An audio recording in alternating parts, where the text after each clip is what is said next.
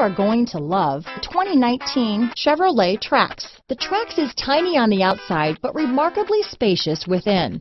It comes with a clean and modern interior. This vehicle has less than 25,000 miles.